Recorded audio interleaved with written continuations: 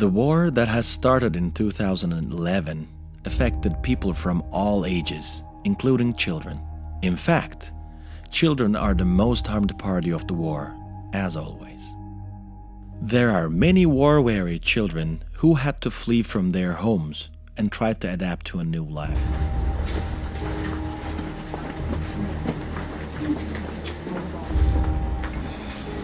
It makes it an undeniable necessity to provide appropriate and special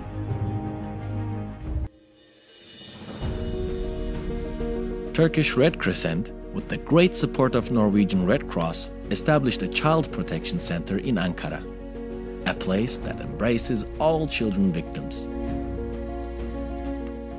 Şehit Serhat Önder Child Protection Center started to provide services in March 2017, where activities, workshops, seminars, and trainings are organized under various topics to provide psychosocial support to children between 6 and 18.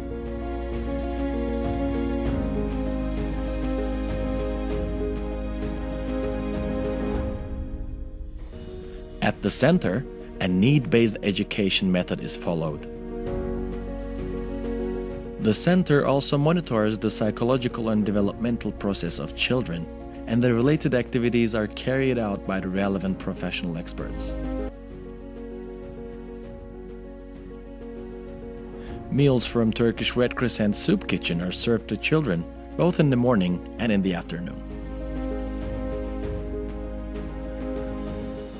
There is also a shuttle service for the children to come to the center.